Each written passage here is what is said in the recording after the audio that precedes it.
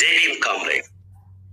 ಪ್ರಿಯ ಅಂಬೇಡ್ಕರ್, ಓ ಪಾತ್ರವಿಲ್ಲದ ಪ್ರಕ್ಷುಬ್ಧ ನದಿಗಳ ಕಲರವವೇ, ಕುದಿವ ಜ್ವಾಲಾಗ್ನಿರವರವೇ ಇರಲಿ ಇರಲಿ ನನ್ನ ನಿನ್ನ ನಂಟು, ಆ ಆದಿ ಅನಾದಿ ಗಟ್ಟು ಎಷ್ಟು ಅಂತರ ನಮ್ಮಿಬ್ಬರ ನಡುವೆ, ನಾನು ಬೆಳಚು ತುಂಡು, ನೀವು ಬಂಗಾರದೊಡವೆ. ಆದರೂ ಜಿಂಕೆ ಬಾಯಗೂ ಉಲ್ಲಗರಿಕೆಗೂ ಬಂದ ಕೂಡಿ ಬಂದಷ್ಟು ನಿಮಗೆ ಕನ್ನಡವಾಗಲಿ, ನನಗೆ ಮರಾಠಿಯಾಗಲಿ, ಕರುಳ ನುಡಿಗೂಡಿ ಬರಲಿಲ್ಲವಾಗಿ ನಾಡದೋಣಿಗಳ ನೆರವಿಲ್ಲದ ಕಡಲ ವಿಸ್ತಾರ ಪಯಣ ನಿಮ್ಮ ನನ್ನದು ಕಾಲುದಾರಿಗಳ ಬಿರುಕುಗೋರಿಗಳ ನೆರಧ್ಯಾನ ಈಜು ಕಂಡ ಅಂತರ, ಏರಿ ಗೌರಿ ಶಂಕರ, ಕಣಿವೆ ಕಂದರ ದಾಟಿ ತಪ್ಪಿ ಪ್ರಪಾತ ಜಲಪಾತಗಳ ಹಂದರ, ಹರಿವ ನೀರಿಗೆ ಎದುರು ಈಜಿದ ಸಿಕಂದರ, ಮುಟ್ಟಿ ಮತ್ಸಗಂಧೆಯ ಮೈ ಕಮಲಗೊಳಿಸಿದ ಅಪರ ಪರಾಶರ. ನಿಷಾದ ಕುಲಮುಟ್ಟಿತೆಂದು ನಿಷಾದ ಕುಲಮುಟ್ಟಿತೆಂದು ಇಮ್ಮೆಟ್ಟಿ ಇಂಗಿದ್ದ ಆ ಸರಸ್ವತಿಯ ಮುಡಿ ಮುಷ್ಟಿಯಲ್ಲಿಡಿದು ಮೇಲೆಳೆತಂದು ಅರಿಸಿದ ಓ ಭಾಗೀರಥ. ಲೋಕಯಿತ, ಅವಲೋಕಿತ, ಅಹಂಗಾತ, ತಥಾಗತ, ಅಮಿತ ತಾಯ್ತನದ ಅಮಿತಾಭ. ನೀನಿಟ್ಟ ಕೋಟಿ ಮೊಟ್ಟೆಯ ಕುರುಹು ನಾನು ಚುಪ್ಪೊಡೆದು ಹೊರ ಬಂದ ಒಂದು ಮರಿಮೀನು. ಯಾವ ಬಲೆಯಲ್ಲಿ ಸಿಕ್ಕಿ ಬಿದ್ದಿದೆಯೋ ಏನೋ ಕುಲ ಬಳಗ ಸಕಲ, ಇದು ಅಕಾಲ ಇದು ಅಕಾಲ. ಮುರಿದು ಬಿದ್ದಿದೆ ಕಾಲಯಾನದ ಕಮಾನು ಒಂಟಿ ಪಯಣಿಗ ನಾನು ಎಲ್ಲ ಕಾಲಕ್ಕೂ ಬಕಾಲ ಇತ್ತ ಆಯಬೇಕಿದೆ ಕನ್ಯಾಕುಮಾರಿ ಈ ಕಡಲು, ಅತ್ತ ಏರಬೇಕಿದೆ ಗೌರೀಶಂಕರ ಆಮುಗಳು ಅಲ್ಲಿಂದಿಲ್ಲಿಗೆ, ಇಲ್ಲಿಂದಲ್ಲಿಗೆ ಏರಿ ಜಾರುವ, ಜಾರಿ ಏರುವ ಏರಮುಖಿ, ನೀರಮುಖಿ ಮೀನ ಪಯಣ. ಎಲ್ಲಿದೆಯೋ ಕಾಣೆ ಎಲ್ಲಿದೆಯೋ ಕಾಣೆ, ಮೂಲ ಹೊದಲಿನ ಘನ ಮೊಗಲಿ ಬೇರು. ತೆನೆಗೊಂಚನ ಮುತ್ತಿನ ತೇರು ದಿಟ್ಟಿ ತೋರಣ ಸಾಲು. ರಥಚಕ್ರವೇಕೆ ಹೂತು ಬಿದ್ದಿದೆ ಇಲ್ಲಿ ಮಧ್ಯೆ ಯುದ್ಧರಂಗದಲ್ಲಿ ಕರ್ಣಕುಂಡಲಕ್ಕಷ್ಟೇ ಮೀಸಲೇನು ಕರ್ಣಪಾಲು. ಎತ್ತಲೊಲ್ಲದೇಕೆ ಒಂದಾದರೂ ಎಗಲು. ಹಿಟ್ಲರ್ನ ಗರಿಗರಿ ಸಮವಸ್ತ್ರ ಚೆಟ್ಟಿ ದೇಪೆಯ ಚೂರು. ಸುತ್ತ ಕೊಳೆತು ನಾರುವ ಹೆಣದ ಬಣೆಗಳು ಸಾಲು ಸಾಲು. ಕವಿದಿದೆ ಅದ್ದು ಟೀಗಗಳ ಹಿಂಡು ರೆಕ್ಕೆಯ ನೆರಳು. ಆದರೂ, ಇಷ್ಟಾದರೂ ಊರೂರುಗಳಲ್ಲಿ ನೀನು ನಿಂತಿರುವ ಭಂಗಿ ಸಿಡಿ ಮತ್ತು ಹುರಿಗತ್ತಿಗೆ ಪಿರಂಗಿ. ಕೆಲವರು ಮದ್ಯ ಸುರಿಯುತ್ತಾರೆ, ಕಾವು ಆರಲೆಂದು.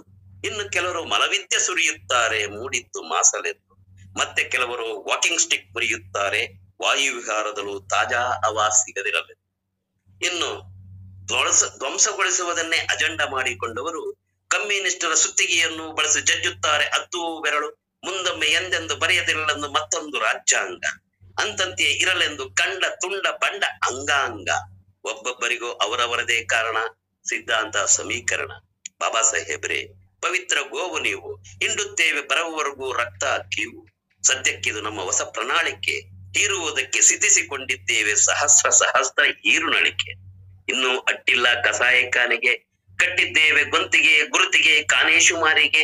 ಅದಕ್ಕೆಂದೇ ಹೇಳಬೇಕು ನಿಮ್ಮನಿಗೆ, ನೀವು ನಮಗೆ ಥ್ಯಾಂಕ್ ಯು ಏನೇ ಶುಕ್ರಿಯ. ಈಗ ನಮ್ಮದೇ ದೌಲತ್ಕಿ ನಯಾ ದುನಿಯಾ. ತೋಪಾ ನಮ್ದುಕೆ ನಿಮ್ಗೆ ಬ್ಯಾ ಬ್ಯಾ ಬ್ಯಾಬಿಲೋನಿನ ಬಕ್ರೀದಿಗೆ. ಇಷ್ಟಾದರೂ ಇಷ್ಟಾದರೂ ಇಟ್ಟಿದ್ದೇವೆ ಕದರಿ ಹುಣ್ಣಿಮೆಗೆ ಮಾರಿಗುಡಿಯಲ್ಲಿ ಹೊಸಮಡಕೆ ನೀರು ಗುಟುಕು ತುಂಡಾದ ಅಂಗಾಂಗ ಒಲೆದುಕೊಳ್ಳುವುದಕ್ಕೆ ಹೃದಯವನ್ನೂ ಒಳಗೊಂಡಂತೆ. ಸೂಜಿ, ದಾರ, ದಬ್ಬಳ, ತೊಗಲ ತೇಪೆಗೆ, ಕಣ್ಣ ಪಾಪೆಗೆ, ಜ್ವಾಲಾಮುಖಿ ತೀರ ಪಾಂಪೆಗೆ. ಓ ಆದಿ ಅನಾದಿ ಯುದ್ಧ ನಿರತ ಯೋಧ ಮಹಾಸೇನಾನೆಯೇ, ಕ್ಷಮಿಸು ಕೊಂಚ ಮಾಸಿದೆ ನೆನಪು ಕೂನಿನ ನಿಶಾನೆಯದು. ನೀ ಬಿಡಿಸಿಟ್ಟ ಕಬೀರನ ನೇಗೆಯ ಬಣ್ಣಗಳಂತೆ, ಅಥವಾ ಸಿಡಿಯಲ್ಲಿದ್ದ ಬುದ್ಧನಗೆಗೊಂದು ಮೀಮಾಂಸನಿ ಬರೆದು ಹೋದಂತೆ. ಗುರುಜ್ಯೋತಿ ಬಾಪುಲಿಯ ದೀಪ ಆರದಂತೆ ಬತ್ತಿಯ ಕಿಟ್ಟೆ ತೆಗೆದು ಎಣ್ಣೆ ಸುರಿದು ನೀ ಹಚ್ಚಿ ತೋರಿದ ಬೆಳಕಿನಂತೆ. ಆಳು ಬೀಳಲಿ ಎಲ್ಲ ಗೊಡವೆ ಏತಕ್ಕೆ ನಮಗೆ? ನೀನಂತೂ ಒಂದು ನಿಚ್ಚಣಿಕೆ ನೀಲಾಕಾಶಕ್ಕೆ. ಫಾರ್ ಮೊಬಿಲಿಟಿಗೆ, ಸೇಫ್ ಜೋನ್ ಜರ್ನಿಗೆ, ಜರ್ನಕ್ಕೆ, ಹಗಲು ಇರುಳಿಗೆ, ಇರುಳು ಅಗಲಿಗೆ ತಿರುತಿರುಗೋ ವೇಳ ವೇಳ ಕೋಲ್ ಬೇಡ, ಕೋಲ್, ದರ್ವಾಜ ಕೋಲ್. ಎಲ್ಲ ಬಾಗಿಲುಗಳು ಬಂದಾಗಿರುವಾಗ ಯಾರ ದನಿಯದು? ಸತತ ಎದೆ ಬಾಗಿಲ ಮೇಲೆ ಬಡಿಯುತ್ತಿದೆ ಬೆರಳು, ತಾರಾ, ಸಿತಾರಾ, ಕೊರಳು. ಒಂದಲ್ಲ ಎರಡಲ್ಲ ತೆರೆದಿರುವುದು ಎಷ್ಟೊಂದು ಬಾಗಿಲು. ದುಪ್ಪಟ್ಟೋ, ಮುಪ್ಪಟ್ಟೋ ಕಿಂಡಿಗಳು, ಕಿರಣ ಕಿಂಡಿಗಳು ತೂರಿ ಬರಲೊಂದು ಕಿರು ತುಂತುರು ಕಣ. ಒಟ್ಟಿರುವೆ ಪ್ರಾಣ ಪಣ. ಹನಿ ಹನಿ ಮಾಗಿ ಸೋನೆ ತೊಳೆದು ಇಲ್ಲವಾಗುವಂತೆ ಕಾಲ ಅಕಾಲಗಳ ಬೇನೆ ಸೋರು ಮಳೆ, ಊರು ಸೂರು, ಗೆದ್ದಲು, ಕಣ್ಣೀರು, ದೀಪಹಾರಿ ಮಸಣ ಮಪ್ಪು ಮನೆಮಾರು ಆದರೂ ನಿನ್ನ ಹುಟ್ಟು ಹಬ್ಬಕ್ಕೆ ಮರೆಯದೆ ಅಚ್ಚುತ್ತೇವೆ ಮತಾಪ ಸಿಡಿಮದ್ದು ಹುಗಿಯುತ್ತೇವೆ ಹಾರ, ತುರಾಯಿ ಊರಾಶಿ ಸಿದಿಗೆ ಗದ್ದೆಗೆ ಕಟ್ಟಿ ಮುತ್ತು ಪಲ್ಲಕ್ಕಿ, ಉಸುಕಿನೊಳಗೆ ಎಂದೆಂದು ಹುದೇ ಇರುವಂತೆ. ಹುದೇರು ಚಕ್ರ. ಬಾಬಾ ಸಾಹೇಬ್ ಜಿ, ಯಾ ಔರಂಗಜೇಬ್ ಜಿ, ಯಾ ಔಲಾದ್ ಕಿ ಬೇಟಿ Maya ಬಹನ್ I am terribly sorry for you. ನೀವು ತೋರು ಬೆರಳೆತ್ತಿ ತೋರಿದ ದಿಕ್ ದಿಗಂತಗಳಿಗೆ ಹಾರಿ ಹೋದ ಪಾರಿವಾಳಗಳೀಗ ಹದ್ದು ಕಾಗೆ ಗೂಗೆ ಡೇಗೆ ಸುಡಿ ಬಿಸಿಲು ಸುರುಮಳೆ, ಬಿರುಗಾಳಿ ಬೆಳದಿಂಗಳು ಸಿಡಿಲಬ್ಬರಕ್ಕೂ ಬೆಚ್ಚಿದೆ ಎಷ್ಟು ಕಾಲ ನಿಂತಿರುವೆ ಹೀಗೆ ಆರಿ ತೀರದಂತೆ ಈ ನೆಲದ ಬೇಕೆ? ಛೆ, ಕಂಕಳಲ್ಲೊಂದು ಹೆಣಬಾರ ರಾಜ್ಯಾಂಗ. ಕಡಿದ ಅಂಗಾಂಗ, ನೀ ತೋರು ಬೆರಳೆತ್ತಿ ತೋರಿ ಬಿಟ್ಟಿರುವುದೇನು ಕೂತೀರಿನ ಮನೆಯೇನು ಬೇಲಿಗೂಗಳು ಬಂದು ಡಸ್ಟ್ಬಿನ್ಗೆ ಬೀಳುತ್ತಿರುವುದಕ್ಕೆ ಕೊನೆಯೇ ಇಲ್ಲವೇನು? ಅರಳಿದಲ್ಲೇ ಇದ್ದಲ್ಲಿ, ಧರೆಗುರಳಿ ಬಿದ್ದಲ್ಲಿ ನೀರುಂಡ ನೆಲಕ್ಕೆ, ಎದೆಹಾಲ ಒಲಕ್ಕೆ ಚೆಲ್ಲಬಹುದಿದ್ದಲ್ಲ ಒಂಚೂರು ನಿಟ್ಟಿಸುರು, ಕಣ್ಣೀರು ನೀರವ ರಾತ್ರಿಯ ನಿಮ್ಮ ನಿತ್ಯದ ಆತ್ಮರೋದನದಂತೆ ಆ ನಿಮ್ಮ ನಿತ್ಯದ ಆತ್ಮರೋಧನದಂತೆ. ಇದು ನನ್ನ ಕವಿತೆ ಎಷ್ಟೋ ವರ್ಷಗಳ ನಂತರ ಬರೆದಿದ್ದು. ಎಲ್ಲಾ ಗೆಳೆಯರು ಬರೆದ್ರು. ನನಗ ಬಾಬಾ ಸಾಹೇಬರ ಮೇಲೆ ಬರೆಯೋದಕ್ಕೆ ಒಳಗೊಳ್ಳೋ ಸಾಧ್ಯ ಇನ್ನಷ್ಟು ಆಗ್ಬೇಕು ಅನ್ನೋದು ಇಷ್ಟು ವರ್ಷಗಳ ಕಾಲ ಬರೆದೇ ಇರದ ಕಾರಣ ಆಗಿತ್ತು. ಈ ಪದ್ಯ ಬರೆದಿದ್ದು ಸುಮಾರು ಒಂದು ಹತ್ತು ವರ್ಷಗಳಿಂದ ಬರೆದಿರ್ಬೋದು ಆ ಪದ್ಯ ಇದು. ಅದಾದ ನಂತರ ನನಗ ಅಂಬೇಡ್ಕರ್ ನುಡಿಗಳು ಈ ನೆಲದಲ್ಲಿ ಹರಿತಾ ಇರುವಂತ ಜರಿಗಳು ಸಾವಿರಾರು ನದಿಗಳು ಸರಸ್ವತಿ ನದಿ ಎಂಬುದು ಎಂದೋ ಇತ್ತೆಂಬ ಪುರಾಣಕ್ಕಿಂತ ಇಂದು ಕಣ್ಣೆದರೆ ಹರಿಯುತ್ತಿದೆಯಲ್ಲ ಅದು ಭೀಮ ನದಿ. ಅದೀಗ ನಮ್ಮ ನಿಜ ಚರಿತ್ರೆ ಆಗಿದೆ.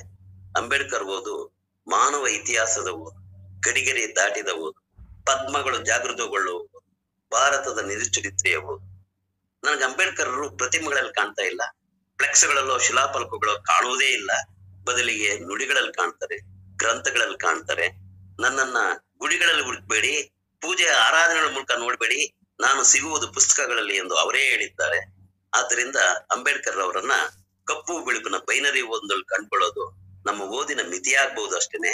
ಒಂದು ರೀತಿಯ ಸ್ಪೆಕ್ಟ್ರಮ್ ಓದು ಅಥವಾ ವರ್ಣ ವಿಭಜನೆ ಓದು, ಅದೇ ನಿಜವಾದ ಓದು. ಆದ್ರಿಂದ ನಾವು ಬಾಬಾ ಸಾಹೇಬ್ರನ್ನ ನೆನೆಯಬೇಕಾಗಿತ್ತು ಭಾರತದ ಮೊದಲ ಕಣ್ತರಿಸುವಿಕೆ ಆರಂಭ ಆಗಿರೋದ್ರಿಂದ ಬಾಬಾ ಸಾಹೇಬರು ಒಂದು ಜನಾಂಗದ ಕಣ್ಣು ತೆರೆಸಿದವರಲ್ಲ, ಒಂದು ಮನುಕುಲದವನ್ನೇ ಕಣ್ಣು ತೆರೆಯುವಂಗ್ ಮಾಡಿದವರು. ಅದರಲ್ಲೂ ಮುಖ್ಯವಾಗಿ ಮಹಿಳೆಯರನ್ನ ಆಡಿ ಹೊಗಳಿ ಮಂತ್ರಗಳನ್ನು ಶ್ಲೋಕಗಳನ್ನು ಉದುರಿಸ್ಬಿಡ್ಬೋದು. ಸುಲಭವಾಗಿ ಅವರ ಹಕ್ಕು ಬಾಧ್ಯತೆಗಳನ್ನ ಸಂವಿಧಾನಬದ್ಧಗೊಳಿಸುವುದೇ ತಮ್ಮ ಜೀವನದ ಉದ್ದೇಶ ಅನ್ನೋ ರೀತಿಯಲ್ಲಿ ತಮ್ಮೆಲ್ಲ ಬೌದ್ಧಿಕತೆಯನ್ನ ದಾರೆ ಎರೆದಿರುವಂತ ದೊಡ್ಡ, ಆ, ದಾರ್ಶನಿಕ ಬಾಬಾ ಸಾಹೇಬ್ರು. ಆದ್ರೆ ಭಾರತದ ವೈದಿಕ ಮನಸ್ಸು ಇನ್ನೂ ಅವರನ್ನು ಮುಟ್ಟೋದಿರ್ಲಿ. ನೋಡುವುದಕ್ಕೂ ಮನಸ್ಸು ಮಾಡದಷ್ಟು ಮಲಿನಗೊಂಡಿದೆ. ಗಂಗೆಯನ್ನು ಶುದ್ಧಗೊಳಿಸ್ಬೋದೇನೋ ಭೌತಿಕವಾಗಿ ಆದ್ರೆ ಭೌತಿಕವಾಗಿ ಭಾರತೀಯ ಮನಸ್ಸು ಸುಳ್ಳು ಶುದ್ಧಗೊಳ್ಳುವಂತಾಗಲು ಶತಮಾನಗಳೇ ಬೇಕಾಗಬಹುದು ಅನ್ನೋದು ನನ್ನ ತಿಳುವಳಿಕೆಯಾಗಿದೆ. ಬಾಬಾ ಸಾಹೇಬರ ಬಗ್ಗೆ ಒಂದು ದಿನ ಅಲ್ಲ, ಎಷ್ಟು ಬೇಕಾದ್ರೂ ಮಾತಾಡ್ತಾನೆ ಹೋಗ್ಬೋದು. ಅದು ನಿತ್ಯ ಪಾರಾಯಣ ಅಂತ ಏನ್ ಕರಿತೀವಿ? ಮಹಾಭಾರತ, ರಾಮಾಯಣ, ಭಗವದ್ಗೀತೆಗಳಿಗಿಂತಲೂ ಅತ್ಯಂತ ಮಹತ್ವದ ಓದಾಗ್ಬೇಕಾಗಿದೆ ಬಾಬಾ ಸಾಹೇಬರದು ಆಗ ಮಾತ್ರ ಅರ್ಥ ಆಗುತ್ತೆ, ಒಂದು ದೇಶ ಒಬ್ಬ ವ್ಯಕ್ತಿಯ ವಿಕಸನವನ್ನ ತನ್ನ ಪಾದದ ಕೆಳಗೆ ತುಳಿದಿಟ್ರು ಕೂಡ ಅದನ್ನ ತಡೆಯೋದಕ್ ಸಾಧ್ಯ ಆಗಲ್ಲ. ಆ ಕಾರಣಕ್ಕಾಗೇನೆ ಈ ದಿನ ಅವರ ಭೌತಿಕ ದೇಹವನ್ನ ಮಣ್ಣೊಳಗೆ ಮುಚ್ಚಿರಬಹುದು ಆದ್ರೆ ಅದು ಅಕ್ಷರಗಳ ಕಣಜ ಆ ದೇಹ ಅನ್ನೋದು. ಅದರಿಂದಾಗಿ ಉಗಿದು ಬಿಟ್ಟಿರುವಂತ ಮಣ್ಣಲ್ಲಿರುವಂತ ಅಂಬೇಡ್ಕರ್ ಅವರು ಸಸಿಯಾಗಿ, ಮರವಾಗಿ ಬೇರೆ ಬೇರೆ ನೆಲಗಳಲ್ಲಿ ದೊಡ್ಡ ಹಣ್ಣುಗಳನ್ನ ಬಿಡ್ತಾ ಇರುವಂತ ಫಲಭರಿತ ಮರವಾಗ್ತಾ ಇದ್ದಾರೆ. ದಾಸ್ಯದ ವಿಮೋಚನೆಯಿಂದ ಬಿಡುಗಡೆಗೊಳ್ಳುವಂತ ಎಲ್ಲ ಮನುಷ್ಯರ ದೀವಿಗೆ ಆಗ್ತಾ ಇದ್ದಾರೆ. ಅದಕ್ಕೆ ಗಡಿಗಳಿಲ್ಲ, ಗೆರೆಗಳಿಲ್ಲ ಬಹುಶಃ ಮುಂದಿನ ದಿನಗಳಲ್ಲಿ ಅಂಬೇಡ್ಕರ್ ಅವರ ಹೊರತಾಗಿ ಭಾರತದ ಯಾರೂ ಕೂಡ ಆ ರೀತಿಯಲ್ಲಿ ವಿಸ್ತಾರವನ್ನು ಕಂಡುಕೊಳ್ಳೋದಕ್ಕೆ ಸಾಧ್ಯ ಆಗಲ್ಲ ಅನ್ನೋದು ನನ್ನ ವಿಶ್ವಾಸ. ಬಹುಶಃ ಇಷ್ಟು ಸಾಕು ಅನ್ಸುತ್ತೆ. ಮುಂದೆ ಸಂವಾದದಲ್ಲಿ ಏನಾದ್ರು ಪ್ರಶ್ನೆಗಳಿದ್ರೆ ನಾನು ಉತ್ತರಿಸಬಹುದು ಅನ್ನತ್ತೆ. ಇದು ನನ್ನ ಪೀಠಿಗೆಯ ಮಾತುಗಳು ಈ ದಿನಕ್ಕಾಗಿ. ನೀವ್ ಹಾಗೆ ಮೂರು ದಿನಾಂಕಗಳು ಬಹಳ ಮಹತ್ವದ ದಿನಾಂಕಗಳು. ಅಕ್ಟೋಬರ್ ವಿಜಯದಶಮಿ ದಿನ ಅವರು ಏನ್ ಬೌದ್ಧ ಮತಕ್ಕೆ ಅವರು ಮತಾಂತರಗೊಂಡ್ರು ಆ ದಿನ. ಜೊತೆಗೆ ಅವರು ಹುಟ್ಟಿದ ದಿನ, ಜೊತೆಗೆ ಇವತ್ತು ಅವರು ಪರಿನಿರ್ಮಾಣ ದಿನ ಮತ್ತು ಮೂರು ಕ್ಷೇತ್ರಗಳು ಅಂತ ಏನ್ ಕರಿತೀವಿ?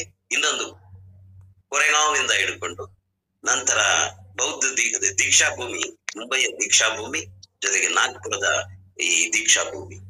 ಇವು ಚೈತ್ಯ ಭೂಮಿ, ದೀಕ್ಷಾ ಭೂಮಿ ಮತ್ತು ವಿಜಯದ ಸಂಕೇತವಾಗಿರುವಂತ ಭಾರತದ ಏಕೈಕ ಶೌರ್ಯದ ಪ್ರತೀಕ ಅಂತ ಏನ್ ಭಾವಿಸಿದ್ರು ಅಂಬೇಡ್ಕರ್ ಅವರು ಯಾಕೆಂತಂದ್ರೆ ಅವ್ರು ಭಾವಿಸೋದಕ್ಕೆ ಕಾರಣ ಆಯ್ತು. ಅವರ ಎರ ಅವರ ಮುತ್ತಾತರು, ತಾತರ ಕಾಲದಿಂದ ಅವರು ವಸಾಹತುಶಾಹಿ ಮಿಲಿಟರಿಯಲ್ಲಿ ಒಂದು ಸಣ್ಣ ಅವಕಾಶ ಸಿಕ್ಕಿದ್ರಿಂದಾಗಿ ಆ ಮಿಲಿಟರಿಯ, ಆ ಅದು ಒದಗಿಸಿದಂತ ಒಂದು ಸಮಾನತೆಯ ಅವಕಾಶದಿಂದಾಗಿ ವಿಕಸನ ಆಗೋದಕ್ಕೆ ಸಾಧ್ಯ ಆಯ್ತು ಬಾಬಾ ಸಾಹೇಬ್. ಮುಖ್ಯವಾಗಿ ನಾವು ಬಾಬಾ ಸಾಹೇಬ್ರನ್ನ ಹೇಗ್ ನೆನಿತೀವೋ ಅವರ ತಂದೆಯವರಾದಂತ ಸಕ್ಪಾಲ್ರನ್ನು ನೆನಿಬೇಕು ಯಾಕೆಂತಂದ್ರೆ ಒಬ್ಬ ಅಂಬೇಡ್ಕರ್ ಹುಟ್ಟಬೇಕಾದ್ರೆ ಸಕ್ಪಾಲ್ರು ಕಾರಣ ಆಗ್ತಾರೆ. ಅಂತ ತಂದೆ ತಾಯಿಗಳಿಂದ ಮಾತ್ರ ಮುಂದೆ ಈ ಭಾರತದಲ್ಲಿ ಹಲವು ಅಂಬೇಡ್ಕರ್ಗಳು ಜನಿಸ್ಬೇಕಾಗುತ್ತೆ ಈಗ ನಾವು ಅಖಂಡವಾಗಿ ಒಬ್ಬ ಅಂಬೇಡ್ಕರ್ ಅವರು ಬರ್ತಾರೆ. ಏನೋ ಒಂದು ವಿಮೋಚನೆಗೆ ದಾರಿ ಮಾಡ್ತಾರೆ ಅನ್ನುವಂತ ಎಲ್ಲ ನಂಬೇಕಾಗಿಲ್ಲ ಅದನ್ನ. ನಾವಾಗ್ಬೇಕಾಗಿರೋದೇನಂದ್ರೆ ಮನೆ ಮನೆಯಲ್ಲೂ ಕೂಡ ಅಂಬೇಡ್ಕರ್ ಚಿಗುರು ಕಾಣುವಂತಾದಾಗ ನಿಜಕ್ಕೂ ಕೂಡ ಭಾರತ ಪ್ರಬುದ್ಧ ಭಾರತ ಆಗುತ್ತೆ. ಪ್ರಬುದ್ಧ ಭಾರತ ಆಗುವುದಕ್ಕೆ ಬೇರೆ ಯಾವ ಚಿಂತನೆಗಳಿಂದಲೂ ಕೂಡ ಸಾಧ್ಯ ಇಲ್ಲ. ಅಂಬೇಡ್ಕರ್ ಚಿಂತನೆಗಳಿಂದ ಮಾತ್ರ ಸಾಧ್ಯ ಇದೆ. ಯಾಕೆಂತಂದ್ರೆ ಅವರು ದುಃಖಿತರ, ದಮನಿತರ, ಮಹಿಳೆಯರ ಇಡೀ ಅವರ ವಿಮೋಚನೆಗಾಗಿ ತಮ್ಮ ಇಡೀ ಜೀವನವನ್ನ ಅಣತಿಯ ರೀತಿ ಉರಿದು ಉರಿದು ತಡಿ ಇಡೀ ಜೀವನವನ್ನೇ ಅವರು ದಾರೆ ಎರೆದ್ಬಿಟ್ಟಿದ್ದಾರೆ ಅಂತ ಒಬ್ಬ ಮಹಾ ದಾರ್ಶನಿಕನ ಬಗ್ಗೆ ನಿಜಕ್ಕೂ ಕೂಡ ನೀವು ಇವತ್ತು ಮಾತಾಡ್ತಾ ಇರೋದು ಬಹಳ ಸಂತೋಷ ಸಂಗತಿ. ಇದನ್ನ ನಾವು ಹತ್ತು ವರ್ಷಗಳ ಹಿಂದೆ ಯೋಚನೆ ಮಾಡಕ್ ಸಾಧ್ಯ ಆಗ್ತಿರ್ಲಿಲ್ಲ. ಯಾಕೆಂದ್ರೆ ಹತ್ತು ವರ್ಷಗಳ ಹಿಂದೆ ಕೂಡ ಬಾಬಾ ಸಾಹೇಬರನ್ನ ಮುಟ್ಟಿದ್ದು ಕೇವಲ ದಮನಿತ ದಲಿತ ಜನಾಂಗಗಳಾಗಿದ್ದು ಇವತ್ತು ಆ ರೀತಿಯಲ್ಲಿ ಯೋಚಿಸೋದಕ್ಕೆ ಸಾಧ್ಯ ಇಲ್ಲ. ಅಷ್ಟು ಬೌದ್ಧಿಕ ವಿಸ್ತಾರವನ್ನ ನಾವು ಕಾಣ್ತಾ ಇದ್ದೀವಿ. ಆ ಕಾರಣಕ್ಕಾಗಿ ಇಂದು ಭಾರತೀಯ ಅನ್ನಿಸ್ಕೊಂಡವನು ಭಾರತೀಯ ಅನ್ನಿಸ್ಕೋಬೇಕಾದ್ರೆ ಅವನ ಮೊದಲನೆಯ ಓದೆ ಬಾಬಾ ಸಾಹೇಬ್ ಓದಾಗಿರ್ಬೇಕು ಅನ್ನುವಂತ ಒಂದು ಕಾಲಘಟ್ಟವನ್ನು ನಾವು ಪ್ರವೇಶಿಸ್ತೀವಿ. ಮತ್ತು ಬಾಬಾ ಸಾಹೇಬ್ರ ಚಿಂತನೆಗಳನ್ನ ಯಾವ ಶಕ್ತಿಯೂ ಕೂಡ ತುಳಿದು ಹಾಕೋದಕ್ಕೆ ಸಾಧ್ಯ ಇಲ್ಲ. ಸುಮಾರು ಅರವತ್ತು ಎಪ್ಪತ್ತು ವರ್ಷಗಳ ಕಾಲ ಬಾಬಾ ಸಾಹೇಬರನ್ನ ಅವರ ಹೆಸರು ಕೂಡ ಹೊರಗೆ ಬಾರದಂತೆ ಈ ದೇಶ ಮರೆತು ಅತ್ಯಂತ ದೊಡ್ಡ ಸಂವಂಚನೆ ಮಾಡ್ಕೊಂಡಿತ್ತು ಈ ದೇಶ. ಇಲ್ಲಿನ ಆಳುವ ವರ್ಗಗಳು. ಆ ನಂತರ ಅದ್ಯಾಕೆ? ಸಂಸತ್ತಿನಲ್ಲಿ ಒಂದು ಭಾವಚಿತ್ರವನ್ನ ಅನಾವರಣ ಮಾಡ್ಬೇಕಾದ್ರೆ ವಿ ಪಿ ಸಿಂಗ್ ಬರ್ಬೇಕಾಯ್ತು. ಕರ್ನಾಟಕದಲ್ಲಿ ಮೊಟ್ಟ ಮೊದಲಿಗೆ ಅಂಬೇಡ್ಕರ್ ಅವರನ್ನ ಅವರ ಜನ್ಮದಿನವನ್ನು ಮಾಡ್ಬೇಕಾದ್ರೆ ದಲಿತ ಸಂಘರ ಸುದ್ದಿ ಬರ್ಬೇಕಾಯ್ತು. ಈ ರೀತಿಯಾಗಿ ಇಂದು ಆ ರೀತಿಯ ವಾತಾವರಣ ಇಲ್ಲ. ಇವತ್ತು ಪ್ರಪಂಚ ತೆರೆದಿದೆ. ಅವರ ನುಡಿಗಳು ಸಾವಿರಾರು ಪುಟಗಳಲ್ಲಿ ನಮ್ಮ ಕಣ್ಣೆದುರುಗಡೆ ಇದೆ. ನಾವು ಮರೆತರು ಮುಂದಿನ ಪೀಳಿಗೆ ಅವುಗಳನ್ನು ಓದೇ ಹೋಗುತ್ತದೆ ಮತ್ತು ಈ ದೇಶವನ್ನ ಪ್ರಬುದ್ಧ ಭಾರತದ ಕಡೆ ತಗೊಂಡು ಹೋಗೇ ಹೋಗುತ್ತೆ. ಯಾವ ಶಕ್ತಿಗಳು ಕೂಡ ಅದರಿಂದ ತಡೆಯೋದಕ್ಕೆ ಸಾಧ್ಯ ಇಲ್ಲ. ಈಗ ಏನಾಗ್ತಾ ಇದೆ ಅಂತಂದ್ರೆ ಈ, ಈಗ ಪ್ರಸಕ್ತ ವರ್ತಮಾನ ಕಾಲದಲ್ಲಿ ಅಪ್ರೋಪ್ರಿಯೇಟ್ ಆಫ್ ಅಂಬೇಡ್ಕರ್ ಅನ್ನೋದು ಎದ್ ಕಾಣ್ತಾ ಇರುವಂತ ಒಂದು ನೋಟ ಆಗಿದೆ. ಯಾಕೆಂತಂದ್ರೆ ಇವತ್ತು ಎಲ್ಲರೂ ಕೂಡ ಅಂಬೇಡ್ಕರ್ ಅವರನ್ನ ಒಳಗೊಳ್ಳೋದ್ರ ಜೊತೆಗೆ ಆಳುವ ವರ್ಗಗಳು ಪಿತೂರಿಯಿಂದ ಕೂಡ ಆ ಅಪ್ರೋಪ್ರಿಯೇಷನ್ ಅನ್ನ ಮಾಡ್ತಾ ಇದ್ದಾವೆ. ಅಪ್ರೋಪ್ರಿಯೇಟ್ ಮಾಡ್ತಾ ಇರೋಂತ ಅಂಬೇಡ್ಕರ್ನಲ್ಲಿ ಅವರು ಪ್ರಾಣನೇ ಇರಲ್ಲ. ಬರೀ ಅಂದ್ರ ಇಟ್ಕೊಂಡಿದ್ದಾರೆ. ಆದ್ರಿಂದ ಅದು ಪ್ರಾಣವಾಯು ದೇಶತ್ತು ದೇಶದ್ದು. ಭಾರತಾಂಬೆಯ ಪಾದದ ಕೆಳಗಿರುವ ತುಳಿದಿಟ್ಟ ಬೆಳಕು ಅದು. ಅದು ಪ್ರಖರವಾಗಿ ಬೆಳಗ್ಗೆ ಬೆಳಗುತ್ತದೆ. ಲೋಕವನ್ನು ಬೆಳಗುತ್ತದೆ. ಇದು ನನ್ನ ನಂಬಿಕೆ ಆಗಿದೆ.